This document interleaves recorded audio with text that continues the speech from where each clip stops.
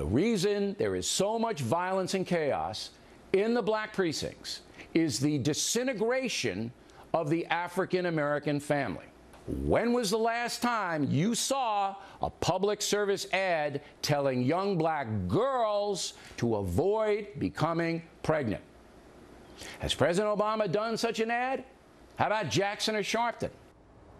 All right, that's O'Reilly. His uh, incendiary commentary really causing ripples all across the country to debate whether civil rights leaders, including our president, are ignoring that grim reality that O'Reilly was talking about. We're joined by Larry Elder, who's the host of his own show on KBC Radio, colleague of mine in Los Angeles, and here in New York by Jehmu Greene, Democratic strategist and former president of the Women's Media Center. So welcome to both of you. Uh, Jehmu, uh, you, you say you. that it's a hunting season on young black black males. But who are the hunters?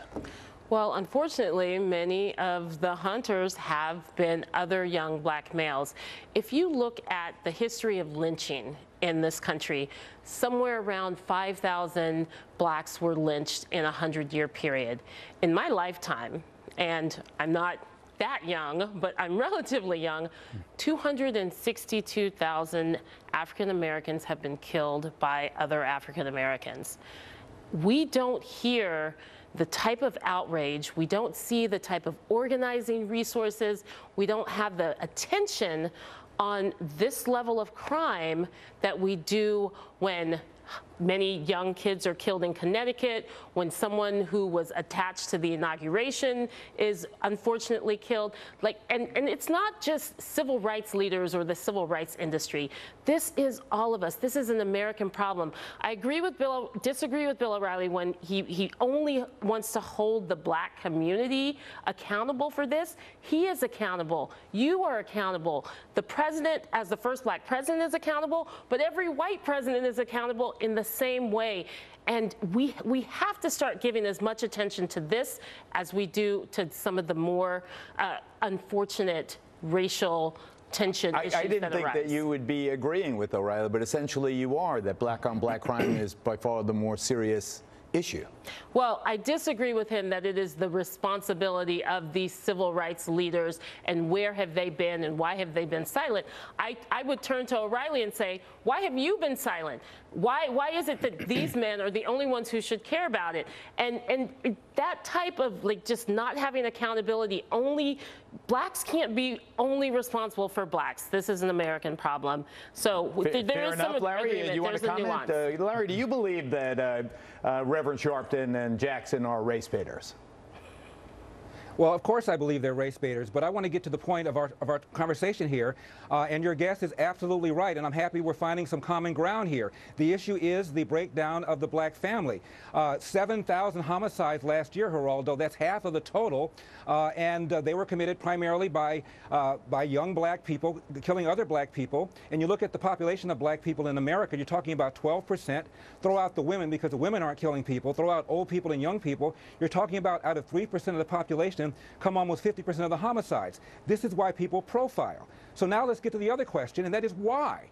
And the answer is bad government social policy uh, and bad fiscal policy. Social policy is this. In 1965, Lyndon Johnson launches the ill-advised but well-intentioned war on poverty. $16 trillion later, the percentage of black kids born outside of wedlock has tripled. And now about 85% of black kids at some point will be in a house without a dad. There's a direct relationship between that and you name your social ill, whether it's crime, dropouts, uh, unemployment, or, or going to prison. All of that is directly related to not having the values from a strong nuclear family. But Larry, here's finally, the, here's the issue. I got that. I, I totally get that, and I agree with you, obviously. One, more, one, more, one, more, one, more, one, more, one, more, one more quick point, though, Geraldo, okay. because a lot of people dismiss everything I say because I'm a conservative. You cite conservative stats from the Heritage Foundation, AEI, or medic, people's eyes glaze over. I'm quoting that well-known neocon Tupac Shakur, who said, I know for a fact if I had had a father, I would have had some discipline and I would have been more confident. End of quote. Well, that, but you're not you're not saying that the upset over Trayvon's death is irrelevant or insignificant. I mean, he was an unarmed kid killed uh, on his way home from the 7-Eleven. It was a tragedy, but it's also a misdirection to suggest that somehow black people need to be feared being tracked down by a non-black person. One more time, the stats are that 95% of the homicides are committed by other black people. When there are these uh, violent interracial crimes between blacks and whites, 90% to 80% of the time, uh, it is a black perpetrator and a white victim. Very rarely is it the other way around, which is why the Trayvon Martin, George Zimmerman thing was such an aberration. Okay, but Larry, this is where we're going to have to, I'm going to have to diverge a little bit because we can walk okay. and we can walk and chew gum at the same time. We have to acknowledge the racial inequality in this country that has led to conditions that create this type of crime situation in Chicago. Um, um, we also have to acknowledge the criminal justice system and the bias, the racial and ethnic bias that exists within the criminal justice system. Geraldo, 2004, the American Bar Association did an, a complete study and came up with very specific recommendations on what this country needed to do to deal with racial and ethnic bias in our criminal justice system. States have not even acknowledged it. The federal government, our Department of Justice has not looked at this, has not implemented these pieces. That exists. So we have to also focus on that, the issues that led to Trayvon let Martin me, let me take and a, the black on black I got crime. you. We'll take a break. We'll be back. We're back live. Just a heads up, uh, coming up at the bottom of the hour, the politics of perversion. And then in the next half hour, the story of whether or not the shoot down of the chopper in Afghanistan carrying those Navy SEALs was something that could have been prevented if people had just kept their mouths shut. So we'll get to that. But right now, continuing with Larry Elder, host of his own show, colleague and friend of mine on KABC Radio in LA, and here in New York by Jehmu Greene, the Democratic strategist and former president of the Women's Media Center. So, uh, Jehmu, the, the issue of energy is what, one thing that I think really resonates very strongly. Trayvon Martin college campuses across this nation thousands flocking to the banner of uh, whether it's uh, Reverend Sharpton or some other organizing group. A tremendous energy, a passion, and it seemed to feed into the old we are victims scenario rather than we are responsible in part for our own destiny. Don't you agree that it's almost a throwback? It's almost easier, in a sense, to be outraged by Trayvon's tragedy than it is to be uh, responsible and say, yes, when Daniel Patrick Moynihan wrote his paper on the black community, 25% of black families did not have a dad at home. Now it's 75%. I mean, that's, that's an amazing deterioration that Senator Moynihan warned us against 40 years ago, and now it's come to pass. I mean, when are we going to just stand up and say, this is awful, and we have to get together and let's march for this. Let's uh, let's protest against entitlement programs that encourage families to be split up so they can still get uh, dependent children assistance and things of that nature? Well, I, I, think we have all heard Reverend Sharpton take very specific credit for when Trayvon Martin's family was unable to get the attention they needed, that he was responsible for rallying the troops. He needs to also rally the troops on this issue.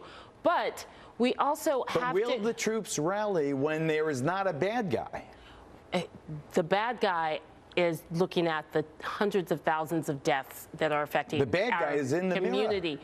But the thing is, Kim Kardashian, Drew Carey, Judd Apatow, Miley Cyrus. The list is long of entertainers who came to you know the defense and the horror of the Trayvon Martin verdict and they are also silent. I cannot say sit here and say I rely only on Reverend Sharpton, who oh, has I, a sordid I, I hold that Reverend Sharpton in much issues. higher regard than many of my colleagues do. But, but I think that this is clearly, uh, you know, just go ahead, go ahead, Larry. I think this is just really uh, a kind of uh, well, that problem seems too big to be grasped by a soundbite or by a protest. Well, you, you hit the nail on your head when you talked about uh, how easy it is to get out there and yell and scream about race and racism. Uh, if it were about race and racism and poverty, you would expect during Jim Crow and the Great Depression there to be more criminality than there is right now, when in fact there was less. About 10 years before Barack Obama got elected, CNN, and I was telling this to Don Lemon the other day on your show, Geraldo, CNN did a poll of black teenagers and they ask them whether racism was a major problem in America. And not too surprisingly, they agree with your guest, Ms. Greene, that it was. But then they ask a very important follow up question, and that is are race and racism a major or minor or no problem in your own daily lives? 89% said little or no problem in their own daily lives. So what's going on here is that black leaders uh, find it real easy to yell and scream about race and racism because the root problems have to do with policies that they have advanced. Democrats would have to reject everything they stand for to say, oh my God, Larry, we have Larry, incentivized people when, into making bad decisions. Wait a second, they can't Larry. do that. That would be a refutation of everything when they stand for. After school programs have been cut, when sports programs have been cut, when the gangs have become the babysitters in these communities, when Head Start has been decimated because of sequester, it is not only these policies that you're pointing to, it is what's happening right now when you have one set of government officials saying smaller government, cut all of these programs, take any sort of value or anything that we can give to these young kids to give them something else to do, and that's not the solution. And also, when you have President Obama in 2008 saying we need to focus on this issue specifically, on fathers being involved in their families, and you do have Reverend Jackson and others like telling him to be quiet and not go down that road, that's the responsibility. They should be held Okay, Larry accountable gets final word. for that.